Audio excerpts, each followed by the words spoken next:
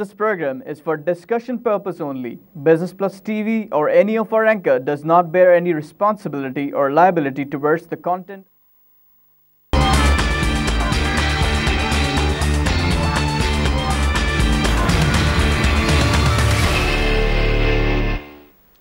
बिसमीम अस्सलाम वालेकुम नाजरीन program live by in focus के साथ मैं हूं आपका मेज़बान डॉक्टर अथर अहमद नाजरीन, आज हम गुफ्तु करेंगे एक मखसूस शोबा फार्मास्यूटिकल इंडस्ट्री के ऊपर।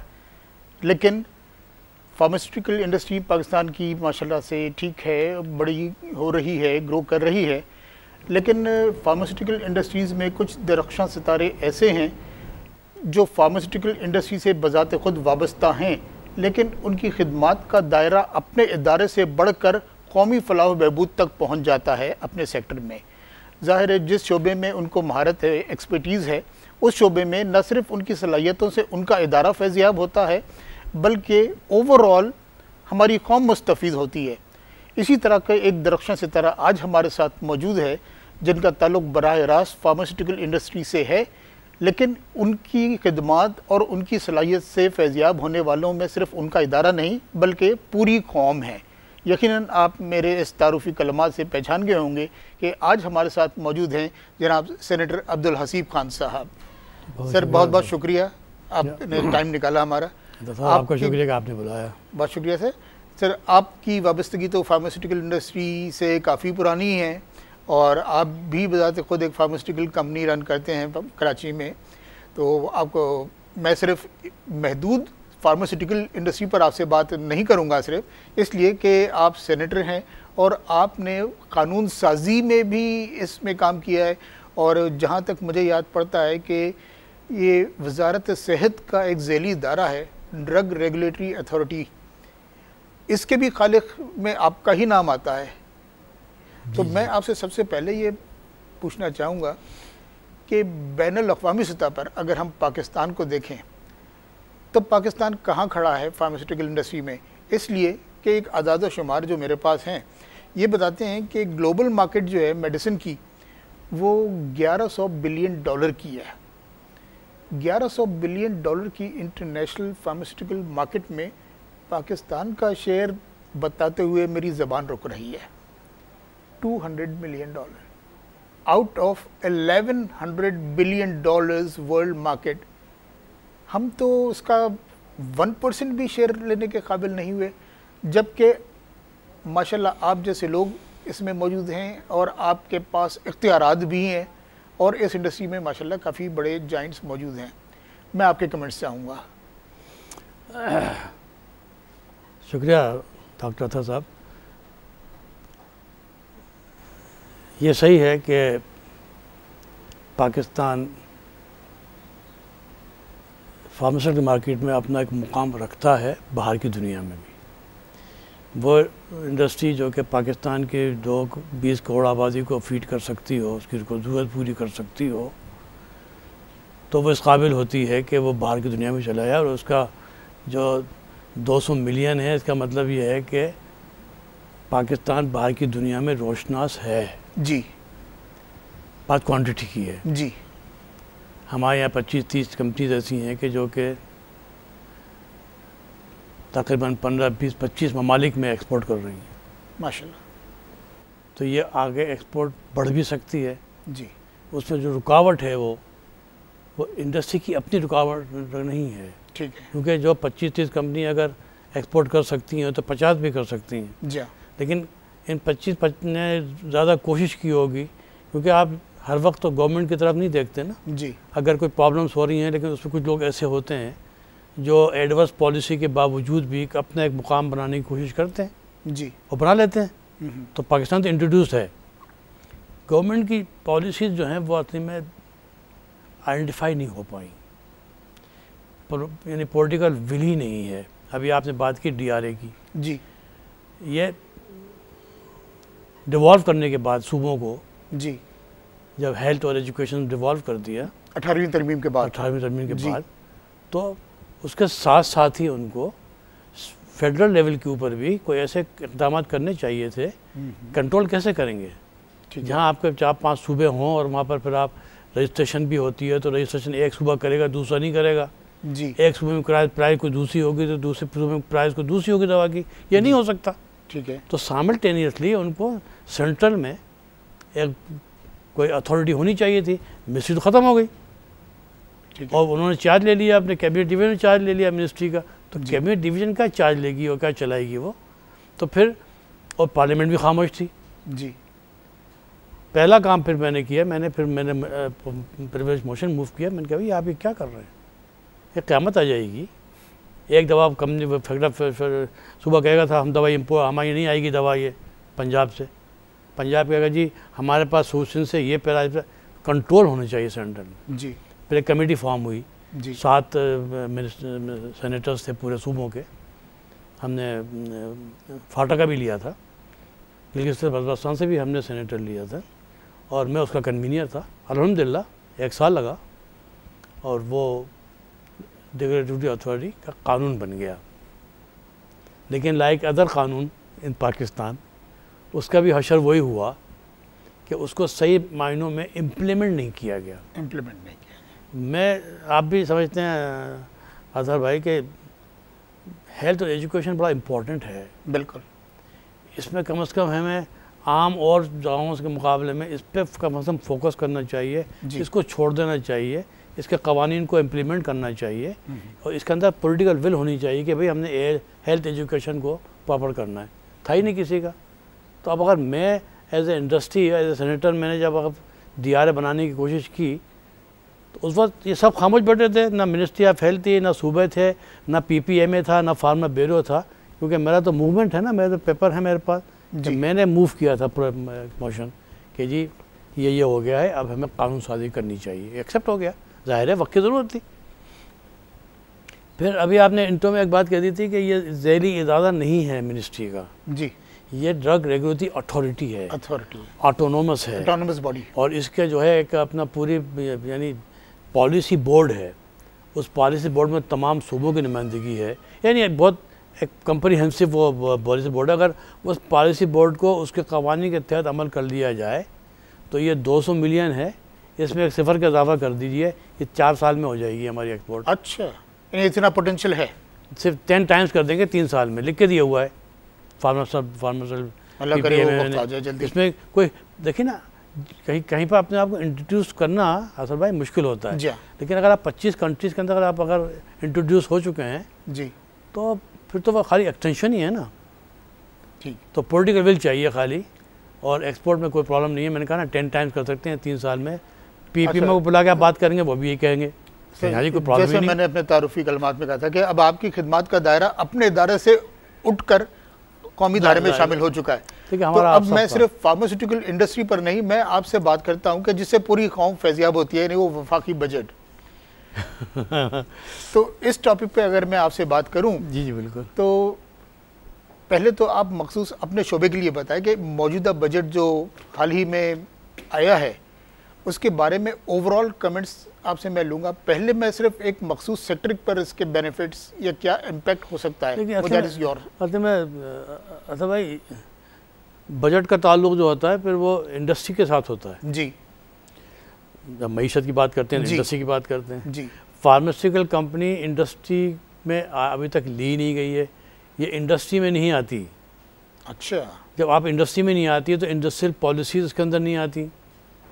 तो उसमें फिर कोई चीज़ आती नहीं है जो कि इसको कंट्रोल करे। एक मिनिस्ट्री ऑफ़ हेल्थ थी वो क्या करती थी? हम्म, पूरे 25-30 साल से जो मैं देख रहा हूँ मुझे भी 30 साल से ऊपर हो गए फार्मास्यूटिकल में। 30 साल में मिनिस्ट्री ऑफ़ हेल्थ ने क्या किया है? सिर्फ़ और सिर्फ़ मैन्युफैक्चरिंग प्लांट बनाने के दवा बनाने के लाइसेंस दिए और मेडिसिन की प्राइस कंट्रोल किए। कोई बजट में इसका प्रोविज़न है? इम्प्रूवमेंट का? नहीं है ही नहीं ना। मैंने कहा ना कि जब आप उसको एज इंडस्ट्री लेंगे तो फिर बात करेंगे। भाई जब इंडस्ट्री फार्मास्यूटिकल की वो वाहिद इंडस्ट्री है जिसको कि आपने कंटिन्यूसली उसको आपने अपग्रेड करना होता है क्योंकि ये ये लाइफ एंड हेल्थ का मामला होता है बिल्कुल, ना। बिल्कुल। ये तो और एक ongoing process और ये और होना बी आप करते हैं हर इंडस्ट्री में करते हैं। जी। लेकिन यहाँ तो आप सर्वाइव ही नहीं कर सकते। बिल्कुल। यहाँ पर तो आपको तो हवा और सांस भी जो है वो भी कैलकुलेटेड होती है हमारी इंडस्ट्री के अंदर। तो सर अगर ये इंडस्ट्री का दर्जा नहीं मिला अभी तक तो आपके सेक्टर ने फिर इसके लिए क्या काम किया फिर? जैसे सब लोग कर रहे होते हैं वही हमने भी किया कि भाई जाते हैं लिख के देते हैं प्रोसेशन करते हैं मीटिंग करते हैं प्राइम मिनिस्टर से मिलते हैं प्रेसिडेंट से मिलते हैं और शोर शराबा करते हैं वो तो कुछ भी नहीं है। सर फार्मास्यूटिकल सेक्टर तो ऐसा सेक्टर है कि जो it's a matter of life and death right जबकि इससे मैं समझता हूँ कि अहमियत के लिहाज से इससे कुछ कम ट्रांसपोर्ट एंड लॉजिस्टिक सेक्टर को भी इंडस्ट्री का दर्जा मिल चुका है लॉजिस्टिक इंडस्ट्री को भी। मैंने कहा ना सबसे कम तवज्जो आपकी जो है आप भी जानते जी। हैं यूर डॉक्टर आप जानते हैं सर मैं मैं मैं मैं तिब से शुभ वाला डॉक्टर नहीं डॉक्टर डॉक्टर डॉक्टर होता है।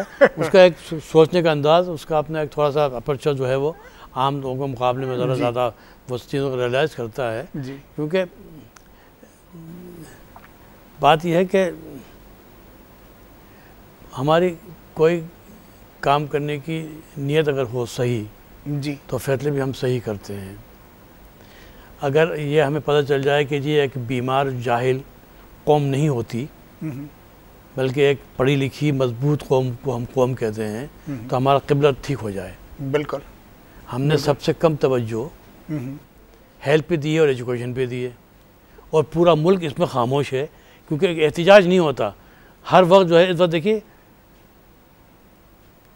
वन पॉइंट एट परसेंट और point point eight percent point eight percent और वन पॉइंट वन परसेंट हम ये बातें कर रहे होते हैं एजुकेशन में बजट के ऊपर जीडीपी का मज़ाक नहीं है ये? जी। जी। कहाँ है कौम? बच्चे कितने हैं जो स्कूल नहीं जाते? दवाएँ कितने बच्चे हैं? लोग जो जो कि बेचारे गरीब लोग जो हैं वो बगैर दवा खाए उसका इंतकाल हो जाता है। बिल्कुल। कितने लोग ऐसे हैं कि जो दवाओं खा के मर जाते हैं आपने देखा होगा अस्पताल के अंदर। बिल्कुल। कभी मालूम सर, होता डेढ़ सौ आदमी मारे गए। तो तो ये सब चीज़ें इसलिए कि हमारी पॉलिटिकल विल नहीं है कि हम हेल्थ और एजुकेशन को ठीक करें। सीधी बात यह है। तो सर इसमें इस पर क्या किया जा सकता है और इस कैमरे के तवज्जो से आप कौन सी बात अरबाब इख्तियार तक पहुंचाना चाहेंगे कि जिससे हमारे फार्मास्यूटिकल सेक्टर यानी जिसको हम अगर हेल्थ सेक्टर का नाम दें तो इस पर काम किया जा सकता है और इस बजट से आप मुतमिन नहीं हैं। देखिए इसमें इसमें कोई रॉकेट साइंस नहीं है। फार्मासिकल एसोसिएशंस होती हैं जिसके अंदर के वो लोग बैठे होते हैं फार्मा ब्यूरो वाले भी हैं मल्टी जी। मल्टीनेशनल भी हैं। फार्मा ब्यूरो और पीपीएमए वाले जो लोग हैं जो काम कर रहे होते हैं 24 घंटे ये आप पीपीएमए से मुराद आप ले रहे हैं पाकिस्तान फार्मास्यूटिकल मैन्युफैक्चरिंग एसोसिएशन यही है। उसमें आप फिर पी पी एम ए को भी शामिल कर लें आप अपने और दूसरे भी ले लें लेकिन जो। मेन प्लेयर हैं इसके वो तो फार्मा ब्यूरो और पी पी एम ए है। इनके नुमाइंदे जो बात आपको बता सकते हैं अगर आप गवर्नमेंट हैं जी। तो वो बेहतर होगी या कि कोई तीसरा आदमी जिसके टेक्सटाइल इंडस्ट्री है वो आपको आके एडवाइस करेगा। यकीनन उनका अच्छा अगर और फिर जब आप गवर्नमेंट हैं और मैं इंडस्ट्री हूँ तो अगर मैं आपसे एक बात कह रहा हूँ कि जब ये चाहिए तो आपको जवाब देने के लिए बताना पड़ेगा ना कि भाई आप ये गलत कह रहे हैं? बिल्कुल। या आप सही कह रहे हैं? हम्म, या इसमें से आधा सही कह रहे हैं आधा गलत कह रहे हैं? तो जब आपका हमारा इंटरेक्शन ही नहीं होगा हम्म, और आप बींग दी हुकूमत आपका कोई तजुर्बा नहीं है फार्मासिकल का। बिल्कुल। फैसले आप करेंगे हमसे बगैर पूछे हुए। अच्छा हम जब भेजेंगे भी तो आप रख देंगे एक तरफ़। करेंगे वो आपको जो करना है। तो ऐसा नहीं होता। आपका कहने का मतलब है कि फैसला साजी में रेलिवेंट लोगों को शामिल किया जाए। शामिल करते हैं। तीस साल शामिल कर रहे हैं। जी। लेकिन उनकी उनकी आरा को शामिल भी करना चाहिए ना। अच्छा। अगर आपने मशवरा किया है। मीटिंग के लिए बुला अगर खाली मिला बुला लिया आपने चाय पिला दी डिस्कस कर लिया खाना खिला दिया वापना कर लिखा आपने एक चीज़ भी नहीं की। बताएँ ना मुझे क्या उन्होंने किया है। आप खुद मुझे बताइए। ये सबसे बड़ा जो अलमिया है इस वक्त हमारे मुल्क का वो है कि आपके हेल्थ पॉलिसी नहीं है। आपके यहाँ ड्रग पॉलिसी है। दवा बनाने की तो आपने बना दी है अपना डी जी। लेकिन health and drug regulatory authority होनी चाहिए थी। मैंने भी मैंने मूव किया था कि हेल्थ हेल्थ भी बनाई जाए। मैंने उसका नाम रखा था पहले H D R A health care and drug regulatory authority अच्छा अच्छा। हेल्थ केयर आपके यहाँ है ही नहीं। डी आर ए है and D R A contribute only fifteen percent in the health sector एक मरीज़ की जेब में से पंद्रह परसेंट जाता है सिर्फ़। अच्छा। पचासी परसेंट जो है वो हेल्थ केयर है। जिसमें अस्पताल हैं डॉक्टर है ये है वो है डायग्नोस्टिक है सब चीज़ें हैं ना। पचासी परसेंट ही कोई बात नहीं कर रहा। आज तक आपने कभी सुना कि हेल्थ केयर के ऊपर कभी अस्पताल के ऊपर कोई कानून आया हो? नहीं आया। कभी आपको पता है कि जी बारह हज़ार रुपये का एक आदमी जो चप्पल पहन के आया स्पंज की वो बारह हज़ार रुपये देगा एमआरआई करवाने के? क्या कोई कानून लिया आपने इसका बनाया? कुछ भी नहीं है। यानी हेल्थ केयर है ही नहीं। नहीं और पूरी माफ़, माफ़ी के साथ पूरा प्रेस मीडिया जब बात करता है मुझसे अच्छा हाँ, वो प्राइस तो आपकी जो है ना इंडिया से बहुत महँगी है। जी। भाई इसके अलावा कुछ पता ही नहीं है उसको। और भाई डॉक्टर की बात भी कर लो। अस्पताल की बात भी कर लो बेड्स की बात भी कर लो कि एक अस्पताल क्या है कि कितने मरीजों पर एक एक बेड है इसको ठीक करने की ज़रूरत है ना इस पर कानूनी नहीं है। इस पर कानून और मैंने जब कहा कि एच डी आर ए बनाया जाए तो मेरा एच मेरा मैं नहीं बना सका। डी आर ए बन गया एच के ऊपर गवर्नमेंट ने रोक दिया। अच्छा। अच्छा sir coming back to this budget topic अभी इस बजट में जो है कस्टम ड्यूटी को रिड्यूस किया गया है वेरियस रॉ मटेरियल्स पर जो फार्मास्यूटिकल पे इस्तेमाल होते हैं। तो आप समझते हैं कि इससे कीमतों में कोई कमी आ सकती है? कहाँ किया हुआ है? सर इस बजट में अनाउंस तो हुआ है कि budget reduce custom duty on various की raw materials used in production of medicine anti allergy पे Med- खास तौर पर। जो दवाएँ हैं वो तो ड्यूटी उनमें नहीं होती। जी। नहीं raw Exempted material raw material के ऊपर ड्यूटी नहीं होती। जी। और इन्होंने रॉ मटेरियल पे ड्यूटी नहीं है लेकिन उन्होंने कुछ पैकेजिंग मटेरियल के ऊपर उन्होंने सेल्टस लगा दिया। अच्छा। और यह उन्होंने लगाया हुआ है जबकि जबकि दवा के ऊपर सेल टैक्स नहीं है। एंड कंज्यूमर जो है वो सेल टैक्स पेमेंट नहीं करता। हम्म, लेकिन ये सेल टैक्स उन्होंने लगाया। हर साल बड़ी हेक्टिकली हम जाके उसको फाइट करते हैं कि भैया आप ये जुर्म कर रहे हैं। सेल टैक्स उस आइटम पे लगाया जाता है पैकेजिंग कोई आइटम भी हो जो इंपोर्ट किया जाता है इंपोर्ट स्टेज पे जो कि एंड कंज्यूमर से रिकवर किया जाता है। जी। अगर एक एंड कंज्यूमर से आप रिकवर नहीं कर रहे सेल टैक्स तो फिर उसको सेल टैक्स नहीं लगाया जाता। लगाया हुआ है। इस साल भी लगाया हुआ है।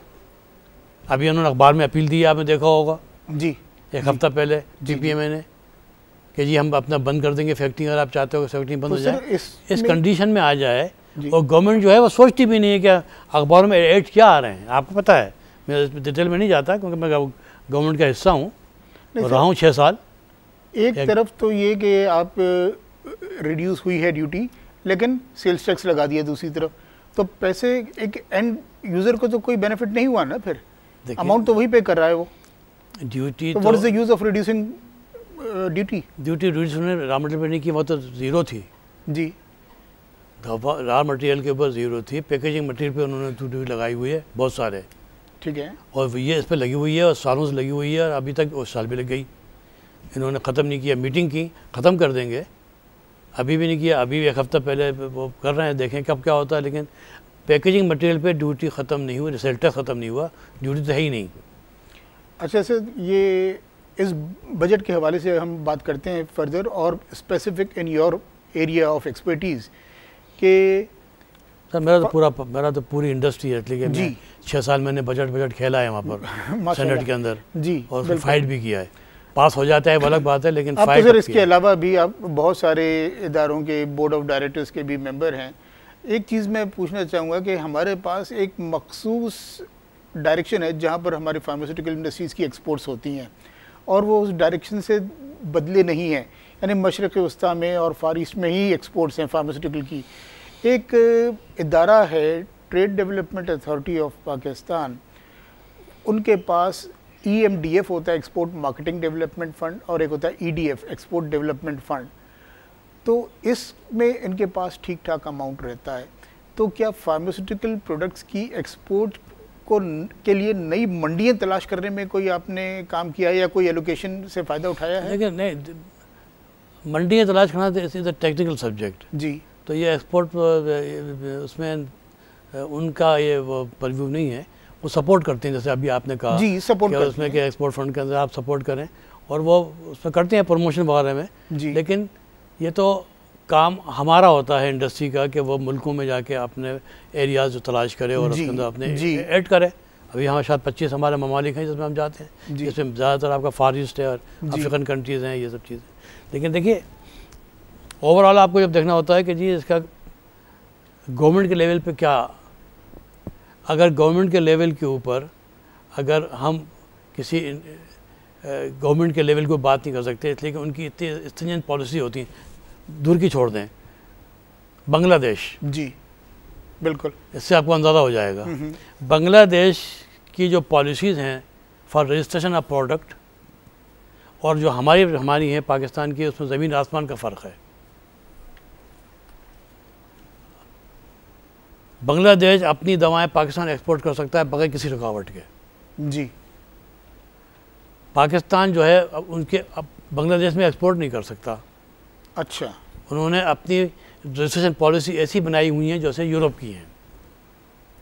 कि भाई कि पाँच कंट्री में अगर आपका रजिस्ट्रेशन होगा तो आप हमारे यहाँ अप्लाई करेंगे। ये कंडीशन है बांग्लादेश में। अच्छा। पाँच कंट्रीज़ उनका नाम दिया हुआ है। ऑस्ट्रेलिया वगैरह ये इंग्लैंड और ये तो। पाँच कंट्रीज़ में अगर आप रजिस्ट्रेशन हैं किसी पाँच में से किसी एक में है तो आप अप्लाई कर सकते हैं अदरवाइज़ नहीं कर सकते। हमारे यहाँ ओपन है। वो आते हैं रजिस्टर कराते हैं दवाएँ एक्सपोर्ट करते हैं हम माँ नहीं करते अच्छा। अगर ये गवर्नमेंट की ये पॉलिसी है भाई जिस शुड भी आने आने बेसिस लेवल प्लेइंग फ़ील्ड कि भाई जो पॉलिसी हम दे रहे हैं उनको रिलेक्शन दे रहे हैं वही वो हमारा वो मुल्क भी देगा। अगर ये बाइलेटरल नहीं है जी। तो फिर आपके लिए फ़ायदा खासा तो नहीं होगा ना। जी। हो रहा है।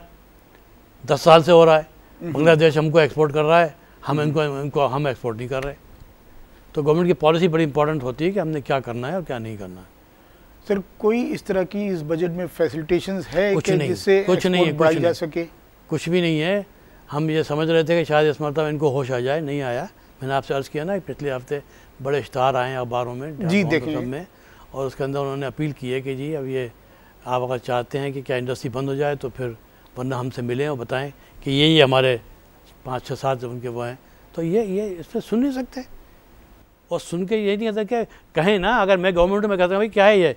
ये क्या लिख के लेके आओ ये? तो हमें जस्टिफाई करना पड़ेगा भाई कि आप गलत कह रहे हैं। ऐसा होना चाहिए। हाँ ठीक है ठीक है ठीक है रख दिया आपने उसके बाद किया कुछ भी नहीं।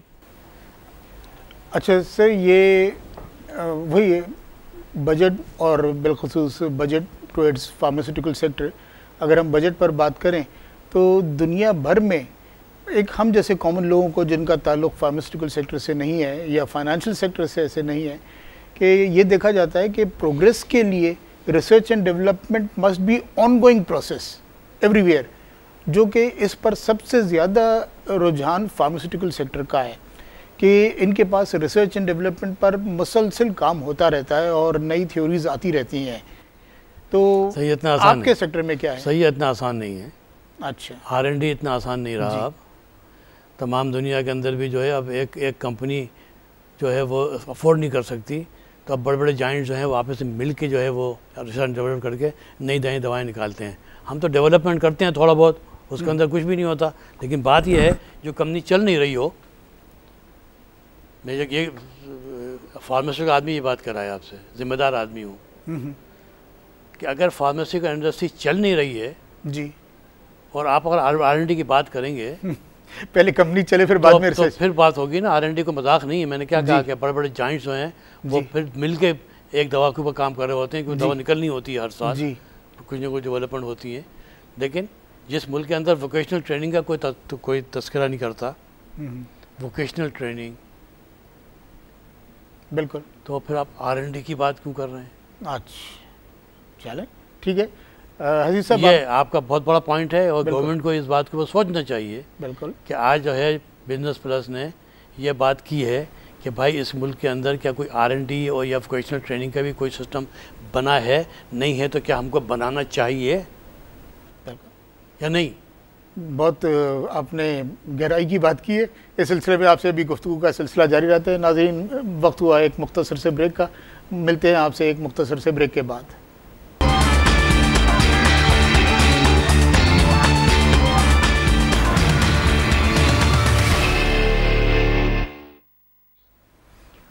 नाजरीन, प्रोग्राम में दोबारा खुश आमदेद। हमारी गुफ्तु का सिलसिला सेनेटर अब्दुल हसीब खान साहब के साथ वहीं से शुरू होगा जहाँ से सिलसिला मुनखत हुआ था। हसीब खान साहब, अब आपकी शख्सियत का जैसे मैंने तारफ़ी कलमात में कहा था कि अपने सेक्टर से उभर कर आप ऊपर आ चुके हैं। अब आप पाकिस्तान की पर्सनैलिटी हैं, किसी एक सेक्टर की पर्सनैलिटी नहीं है। तो लिहाजा अब मैं बात भी यही करना चाहूँगा जैसे पाकिस्तान की बात करें, हम किसी एक सेक्टर की बात ना करें। जो आजकल का हॉट टॉपिक है और आप जैसे लोगों से जिसकी राय बड़ी कीमती होती है कि ओवरऑल मैं चाहूँगा कि बजट पर मैं बात करूँ और आपके क्या कमेंट्स हैं? शुक्रिया नसर साहब। बजट पे बहुत बात पहले भी की जाती हैं फिर बहुत बजट भी बहुत बातें होती हैं। लेकिन आपसे लेकिन ले, अब मेरी शायद पहचान है मैं तो बहुत शुरू से आपके साथ हूँ। जी, बिल्कुल। के साथ बहुत बिल्कुल सर बिल्कुल। और ख़ास तौर से मेरा सब्जेक्ट ये था इंडस्ट्री। बात यह है कि हमारी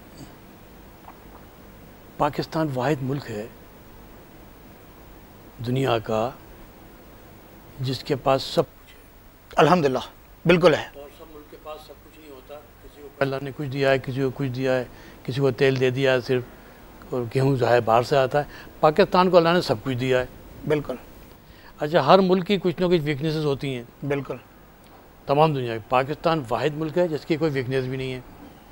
ये भी एक बहुत बड़ा प्लस पॉइंट है। कोई बता देना मुझे मैं तो बिल्कुल। डायरेक्ट बात कर रहा हूँ ना लाइव जा रहा है ना। बिल्कुल। बता देना हमारी क्या कोई वीकनेसेस हैं? हाँ सेल्फ क्रिएटेड वीकनेस हमारी बहुत हैं। वो तो फिर उसमें नेशन का कसूर नहीं है बात करें वही बजट है हमारा। अब हम बजट की बात कर रहे हैं ना तो जब हम बजट में हम ये देखते हैं कि हमारी क्या स्ट्रेंथ है क्या वीकनेस है फिर हम। बाहर एक्सपोर्ट ये सब चीज़ें होती हैं ना। बिल्कुल होती हैं। हमारी कोई नहीं। अच्छा हमारी प्रॉब्लम क्या है? जी। हमारी प्रॉब्लम जो है वो सिर्फ़ एक है कि हमने अभी अपने आप कौमी इंसारी हमारे में हमारे खोपड़ी में आई नहीं अभी तक। जब मैंने कहा कि हमारे पास सब कुछ है बिल्कुल है। वीकनेस नहीं है सिर्फ़ इसी तो के बारे में तो कहा है फिर हम पे कर्जा क्यों लेते हैं फिर? इसीलिए तो कहा है कि पाकिस्तान की तरफ़ ग्लोब पे आँख लगाकर ये लिखा है नीचे कि इस घर में कई तुमको दिखाने की हैं चीज़ें बाहर से नज़र आती है छोटी सी एक कुटिया बिल्कुल। अब अब देखिए इतनी इंपॉर्टेंस है पाकिस्तान जी। पाकिस्तान तो अपना चौवन मालिक पचपन मालिक का जो है ये लीडर है। बिल्कुल है। अल्लाह ने उनकी हिफाजत की ज़िम्मेदारी पाकिस्तान को दी है एटम बम दे के बिल्कुल। बिल्कुल। मेरू वो आपका अच्छा। एटम बम आपके पास। बिल्कुल। मादनी वसाइल आपके पास। यानी यानी ला महदूद कुदरती वसाइल का मुल्क है ये। ये तो कोई बुज़ुर्गों की दुआएँ पाकिस्तान में। अच्छा है लेकिन कर्ज़े हमारे पास जो हैं आपको पता है कि हमारे पास कर्जा कर्जा कितना हो गया इस वक्त? चौदह हज़ार अरब हमारा पास जो है वो ए, ए, लोकल है और सेवन थाउज़ेंड बिलियन हमारा जो है वो बैरून कर्जा है। यानी ट्वेंटी वन थाउज़ेंड अरब हमारा कर्जा है। जीडीपी हमारी कितनी है? Thirty three thousand. जीडीपी है। इसका सिक्सटी परसेंट बनता है उन्नीस उन्नीस हज़ार आठ सौ। तमाम दुनिया का कानून यह है कि 60 परसेंट से ऊपर आपकी जीडीपी का कर्जा नहीं हो सकता। अच्छा। ये इंटरनेशनल कानून है। जी जी। और हमारा बनता है जीडीपी थर्टी थाउज़ेंड है। सिक्सटी का मतलब ये होता है उन्नीस सौ अस्सी। हम तो इक्कीस हज़ार पे ऑलरेडी जा चुके हैं। ऑलरेडी तो दुनिया नहीं देख रही। अब ये ये सब चीज़ें कंट्रीब्यूट करती हैं। देखिए अब ये क्या हुआ? इतनी दौलत के मैं इसलिए कहना चाह रहा हूँ बार बार ये कह रहा हूँ कि दौलत के अंबार हैं हमारे पास। बिल्कुल हैं, कि जब तक कि आप अपने खुद इंसारी पर तवज्जो नहीं देंगे एस एम को आपने कुछ भी अभी तक आपने ऐसा रखा हुआ है जैसे कि एस एम कोई चीज़ ही नहीं होती। बिल्कुल। कॉटेज इंडस्ट्री कोई चीज़ ही नहीं होती। आपने क्या दिया है कॉटेज इंडस्ट्री को? सर बिलाशुबा कुछ नहीं दिया। है ही नहीं ना। जबकि आपके जितने भी कॉटन इंडस्ट्री में जो काम करने वाले लोग होते हैं वो गाँव और देहातों में औरतें और मर्द होते हैं जो हाथ में का, कारीगर होते हैं हाथ में हुनर लिए बैठे होते हैं उन्हें थोड़ी सी फाइनेंस चाहिए होती है। क्या किया है आपने? तो इसलिए मैं कह रहा हूँ कि इसकी ज़िंदा मिसाल बांग्लादेश की है जो ग्रामीण बैंक ने किया था। सर बांग्लादेश थोड़ा मुझे शर्म आती है। अगर आप इजाज़त दें मुझे तो मैं ताइवान की बात कर लूँ? सर बिल्कुल सर। ताइवान 1950 में आज़ाद हुआ था। बिल्कुल। उसका रकबा कितना है? आ, सर बहुत कम है। Thirteen thousand thirteen thousand nine seventy four square mile तेरह हज़ार नौ सौ छिहत्तर। और पाकिस्तान? और सर ये तो तीन लाख चार हज़ार बिल्कुल। पाँच सौ नौ स्क्वायर माइल कोई कंपैरिजन नहीं है। तीन लाख चार हज़ार तेरह हज़ार सात सौ। कोई मामला है? एक्सपोर्ट उसकी है तीन सौ बिलियन सर सिंगापुर की बात कुदरत करें आप। कुदरत नहीं कुदरती वसाइल भी नहीं है। ज़मीन नहीं है काश की ज़मीन नहीं है। तेरह हज़ार स्क्वायर माइल में कहाँ से काश की ज़मीन आई। कुदरती वसाइल भी कोई नहीं है अंदर ज़मीन के अंदर कुछ भी नहीं है। यहाँ तो अंबार हैं हमारे पास तो। बिल्कुल है। इसकी एक्सपोर्ट 300 बिलियन है। डेढ़ सौ बिलियन तो वो करता है आपका वियतनाम जिसको। ब्रूटली उन्होंने मर्डर कर दिया था। अब अमेरिका बहादुर ने हमारे बर्बाद कर दिया था उसको। बिल्कुल। बर्बाद कर दिया था वो फिर खड़ा हुआ इस वक्त उसकी 150 बिलियन है। और अब तो टेक्सटाइल सेक्टर में भी टफ टाइम दे रहा है दूसरों को। फिर? अब ये ममालिक अगर आ गए हैं भाई इनके इनसे सीख लो बुला के काफिर होंगे। आप मुसलमान हैं। चलो उनसे मशवरा कर लो यार ये क्या कर रहे हैं वो? बात सिर्फ़ इतनी सी है अपना अजहर भाई कि हमने सोचा ही नहीं कि ये हमारी दौलत के अंबार कितने हैं। अब देखिए कितनी शर्म की बात है कि टैक्स रिफॉर्म इस मुल्क में अभी तक किया नहीं गया है। आप किस बजट की बात करते हैं? अगर तेरह सौ साठ रुपये आप अपने तेरह सौ साठ अरब आप अपना वो दे दें इंटरेस्ट दे दें। जी। और अपनी जो दौलत के अंबार हैं उसको आप बाहर निकाल के उसको आप अपना वैल्यू एड नहीं कर रहे। जी। टैक्स आप ले नहीं रहे। चोरों को आप पाल रहे हैं। अब देखिए सिर्फ़ दो बातें करूँगा मैं। अगर आप एक कैलकुलेट करेंगे तो आपको रियल इस्टेट में आठ हज़ार पाँच सौ अरब रुपया है जो ब्लैक मनी है। बिल्कुल है। बिला आठ हज़ार पाँच सौ। एक तरफ़ तो ये हो गया अठारह पाँच सौ। जी। दूसरी तरफ़ आपने जो है इनकम टैक्स ऑर्डिनेंस दिया हुआ है एक सौ ग्यारह चार। और तीन साल छः साल मैं चीखा हूँ वहाँ पर असम्बली के अंदर सेनेट के अंदर कि जी ये ये क्या आपने ब्लैक कानून बनाया हुआ है आपने ख़त्म करें। इसके रू से आप जितनी चाहें दौलत बाहर से ले आइए थ्रू बैंक जी। वो वाइट हो जाएगी। बिल्कुल कोई सर, दिए हुए। ये एक बहुत बड़ा मसला बगैर कुछ दिए हुए हमारे साथ है। बगैर कोई दिए हुए। अरे भाई अगर आपने लेनी है तो आप एम एस स्कीम दे दो। ये पनामा लीग और दुबई लीग और पता नहीं कौन कौन से लीग चल रहे हैं। ये दौलत के अंबार हैं इनको सब करे भाई आ जाओ पंद्रह परसेंट दे दो सब तुम्हारा हो जाए। कुछ तो पैसा तो लो ना इन लोगों ने ताकि मुल्क का कर्जा अदा हो जाए आपको तेरह सौ साठ बिलियन नहीं देना पड़े। बात यह है टैक्स आप ले नहीं रहे। हर आदमी से आप टैक्स ले रहे। दस लाख बारह लाख आपको आपको टैक्स दे रहे हैं। रजिस्ट्रेशन कोई करा नहीं रहा है एन की। और आप जो है कर्ज़ों पर इंसार किए जा रहे हैं। तो बजट की बात में करना समझता हूँ कि मुनासिब ही नहीं होती अगर आप दो चार पाँच चीज़ों को अगर आप ना देखें। देखिए अब मुनीर भाई साहब से भी कहा है कि वो कल तशरीफ़ ला रहे हैं। कल इनशाला कल तशरीफ़ चलाएँगे आप एक्सपर्ट बात कर लीजिएगा। उनके सबसे बड़ी प्रॉब्लम क्या है? क्या उनके अंडर में जो काम कर रहे हैं एक्सपोर्टर्स उनके 300 अरब रुपये फंसे हुए हैं। जी उनके अपने हैं एक्सपोर्टर्स के। जी जी। हुकूमत के नहीं हैं। जी। एक्सपोर्टर्स ने अपनी अमानत रखवाई थी गवर्नमेंट के पास। जी अमानत भी खा गई। और टी डी एफ़ वाले कोशिश कर रहे हैं तीन साल से कि भाई इसको रिफंड जो है वो हर साल दिया जाए अभी तक नहीं दिया गया है। और अभी मुझे खदशा है कि अभी भी नहीं देंगे इसलिए कि मैंने जब बजट देखा बजट के अंदर 300 बिलियन डालेंगे ना कि भाई हमने पे, पे करना है जा बजट में डाला ही नहीं है। अच्छा। अभी जब आपको बताएँगे मुनीर भाई अपना टी डी एफ़ के चेयरमैन बताएँगे कि उनकी कितनी प्रॉब्लम है क्योंकि एक्सपोर्टर तो उनके पास जाता है कि भाई हमारी फैक्ट्री बंद हो रही है तीन सौ अरब रुपये भैया कैसे चलेगा? जा जा जा और पैसा उनका गवर्नमेंट का भी नहीं है। तो जहाँ पर ये हो कि आप गवर्नमेंट जो है वो अमानत भी खा जाए या अमानत है वो कि रखवाइए रख लो जब ये हम काम करके डॉक्यूमेंट सबमिट कर देंगे तो वापस कर देना। बिल्कुल। खा गए। तो इसलिए ओवरऑल असर भाई बात सिर्फ़ इतनी सी है कि एक्सपोर्टर डिस्करेज है। सर है ही नहीं। कर्ज़ों पर इंसार करके आप बजट नहीं बनाया करते। हमेशा आप देख लें कर्जे के ऊपर होता है इतना डेफिसिट इतना डेफिसिट तेरह जी डी पी आपकी कितनी है? थर्टी थ्री थाउज़ेंड बिल्कुल। और फाइव पॉइंट फाइव पॉइंट तो सर आप इसको फाइव पॉइंट इस- होगा लेकिन देखें आपने मैं तो ये बात कहना चाहता हूँ कि कर्ज़े लें। जी। कर्ज़े तमाम दुनिया लेती है ये बुरी बात नहीं है। ठीक है। लेकिन कर्ज़े लेने के लिए आपको जो पी एस डी पी है पब्लिक सर्विस के अंदर आपने। जी। उसमें आप कर्ज़ा लें? बिल्कुल। लेकिन पी एच डी का जो आप लेंगे वो पी एच डी के अंदर खर्च करेंगे आप। पी एच डी के अंदर आपकी। एजुकेशन भी आती है हेल्थ भी आती है डेवलपमेंट भी आती है रोड भी आती है सभी आती है ना? तो जितना भी आप पैसा लें कर्जा और अगर उसको आप पी एच डी पी में अगर खर्च कर दें पूरा तो इससे ग्रोथ बढ़ती है आपकी जी डी पी की। बिल्कुल बिल्कुल। पैसा जो आपने इन्वेस्ट किया तो जी डी पी ग्रोथ बढ़ेगी तो प्रॉफिट भी बढ़ेगा तो आपका वो जो पे पैसे लिए हैं आपने पी एच डी पी में जो पैसे लिए हैं उसकी रिटर्न जो है वो बहुत आसानी से आप कर देते हैं इसलिए कि कमाई फिर बहुत ज़्यादा बढ़ जाती है। आपने दिए रखे नहीं वो आठ सौ साठ रखे आपने उसमें से भी खर्चा पता नहीं कितना होगा। तो सर इसको हम इस तरह से नहीं कहें कि ये जितनी भी हमारी लिविंग स्टैंडर्ड्स हैं ये सिर्फ़ आर्टिफिशियल हैं सारे। सब मैंने अर्ज़ किया ना आपसे कि हम हमारी पॉलिटिकल विल से मैं बात करता हूँ मैं उसमें कहता हूँ कि जो असेंबली में लोग बैठे हैं भाई मैं छः साल बैठ के आया हूँ ना। जी। तो मेरे पास मैंने सौ आदमी दरमियान में छः साल गुजारे हैं। बिल्कुल। और पाकिस्तान की बात की है आवाम की बात भी की है रोटी की बात भी की है एजुकेशन की बात भी की है इंडस्ट्री की बात भी की है एक्सपोर्ट बात की है। छः साल यही किया है ना मैंने। तो हमने सिर्फ़ बातें की हैं वहाँ। एग्जीक्यूशन ओपन ओपन कर रहा हूँ मैं अभी। पब्लिक कह रहा हूँ आपके तवस्से से ओपन जा रहा है। बिल्कुल। कि ये असम्बली भी और सेनेट भी ये डिबेटिंग क्लब्स हैं। हम यहाँ पर तकरीरें करते हैं। मैंने की है ना तकरीरें। जी, जी, बिल्कुल, बिल्कुल। एक लफ्ज़ लिखा हुआ है किताबें बनी हुई हैं, लेकिन उसको पढ़ के देखेंगे तो उसमें से आवाम को क्या मिला? दैट्स इम्पोर्टेंट तो सर ये ना हो कि बजाय इसके कि हम आगे के ख्वाब देखें आगे के प्लान्स करें और आगे ये करेंगे उन विजन ट्वेंटी ट्वेंटी करेंगे। अरे जो विजन पहले था उसको एग्जीक्यूट करने तो यही बेहतर नहीं होगा। सर विजन की हम बात ही नहीं कर सकते। विजन की बात करता है लीडर नहीं अब आप जैसे लीडर लीडर बात करता है। जी। पाकिस्तान के जो लीडर हैं वो बात करके लीडर है कोई पाकिस्तान में एक भी नहीं है।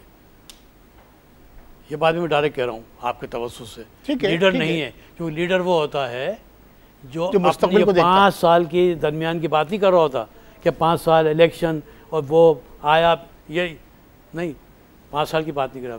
वो बात ही करता है आइंदा नस्लों की। आइंदा नस्लों की। कितने लोग बात कर रहे हैं आइंदा ने किसी ने बात की आज तक? नहीं सर नहीं। हम तो आज मैंने ही तो- की बात करते हैं। हम तो सिर्फ़ आज ही की बात करते हैं। तो फिर जो आज के मसले पर बात करो जो जो लीड- जो, जो सियासतदान अगर इस मुल्क में 2009 में तमाम सूबों ने इंक्लूडिंग फेडरल मिल के ये तय किया था जिसमें नवाज़ शरीफ भी साहब शामिल थे कि जी हम पाँच परसेंट और सात परसेंट कर देंगे बजट एजुकेशन का सात बाई दो टू थाउज़ेंड सिक्सटीन दूर की बात है। दो हज़ार सोलह। अभी की दो हज़ार नौ की थी ना? जी। दो हज़ार सोलह तक कर देंगे हम सात परसेंट। हम्म, हम्म। कितना है?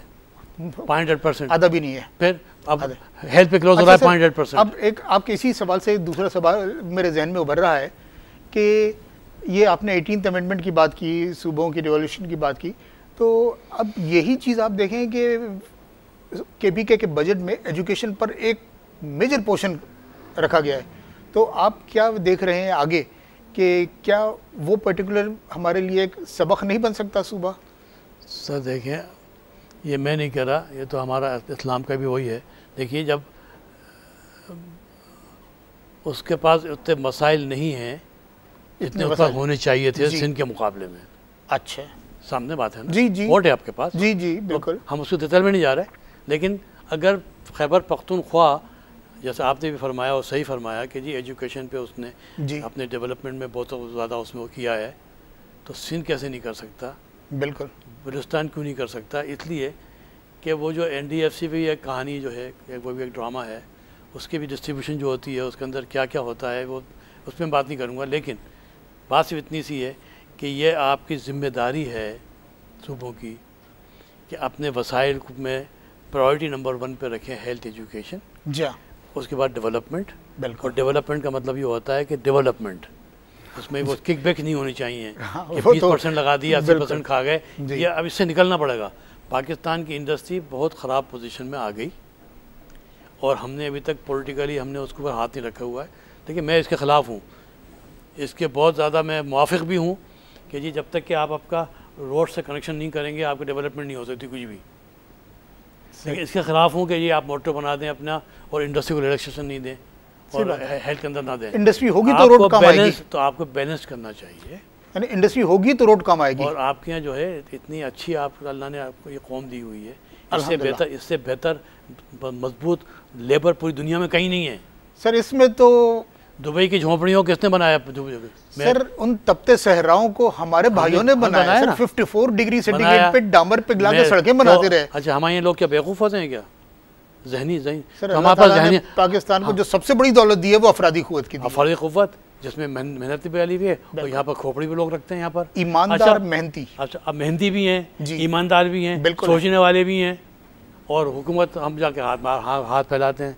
जिस दिन आपने ये हाथ फैलाना बंद कर दिया और अपनी खुद इन्सारी के ऊपर तोज्जो दी कि जो ज़मीन में है खोद के निकालो। यार अपने असल भाई दूसरा हर दूसरा पहाड़ मार्बल का है बलुस्तान के अंदर। बिल्कुल। छोटी सी फैक्ट्री जाकर वहाँ लगा दो। मुझे मुझे दे दें। मेरी वहाँ पर मुझे प्रोटेक्शन दे दें। दस फैक्ट्री में जाकर मैं लगवा देता हूँ अपने दोस्तों से एक छः महीने के अंदर अंदर। कि भाई पत्थर तोड़ो। और मशीनें कहाँ से लेके आऊँगा? इटली से लेके आऊँगा स्पेन से लेके आऊँगा। उनकी क्वालिटी बनाऊँगा अपने पत्थर की। वही फिनिशिंग। और उनके मुल्क में एक्सपोर्ट करके बर्बाद कर दूँगा उनके मार्केट भी। इतना प्रोटेक्शन है सर एक जो रस्मी जुमला होता है ना कि आप तशरीफ़ लाए आपका बहुत शुक्रिया और आपके बातों से हम बहुत फैजियाब हुए और हम बहुत खुश हुए। लेकिन मैं आपके सामने आपको ये लफ्ज़ कहूँगा कि आप तशरीफ़ लाए आपका बहुत शुक्रिया। लेकिन आपसे मिलकर मुझे इतनी खुशी नहीं हुई इसलिए कि लम्हे फिक्रिया छोड़ जा रहे हैं आप। वो है न सिर्फ़ मेरे लिए बल्कि पूरी कौम के बल्कि मैं एक, एक शेयर पेश कर दूँ आपके क्लोजिंग सर बिल्कुल क्लोजिंग में। हम बचाते रह गए हम बचाते रह गए दीमक से अपने घर को। बात इस्लामाबाद की भी हो जाएगी। जी। कुर्सियों के चंद कीड़े सारा मुल्क खा गए। वाह वाह। और ये है बजट। सर आपकी तशरीफ़ आवी का बहुत शुक्रिया और एक लम्हा फिक्रिया छोड़ जा रहे हैं। नाजरीन सेनेटर अब्दुल हसीब खान साहब को आपने सुना और यकीनन आपका भी कुछ दिल रंजीदा हुआ होगा मेरी तरह। लेकिन बहरहाल ये हमारा मुल्क है और हमने यहीं रहना है हमारी नस्लों ने यहीं रहना बना- है हमने बनाना और। इसको हमने ही सुधारना है इसको हमने ही सुधारना है।